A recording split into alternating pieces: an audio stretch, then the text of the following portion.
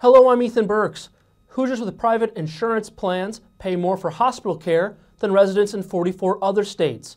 A new study released today by the RAND Corporation says patients with private plans paid three times more than fellow Hoosiers on Medicaid.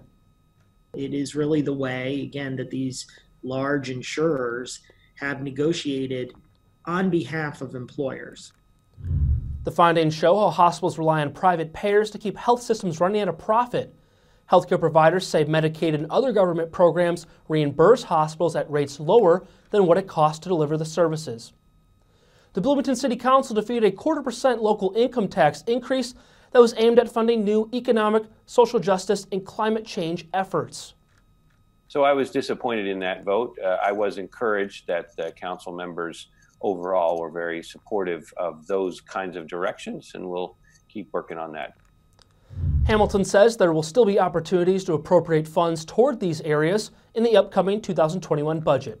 The council will vote on the final budget October 14th. And Indiana's food banks are in critical need of volunteers.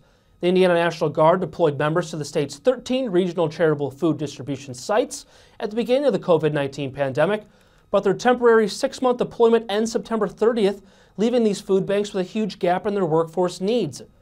Hoosiers interested in volunteering can sign up at operationfood.in.gov where they'll be matched with a local food bank in their area. And checking on the weather tonight, we're looking at a cooler temperature of 44 degrees as the low, clear skies. And then we see the sun come out Saturday and Sunday for the weekend and stay there for next week as temperatures will stay in the mid 70s.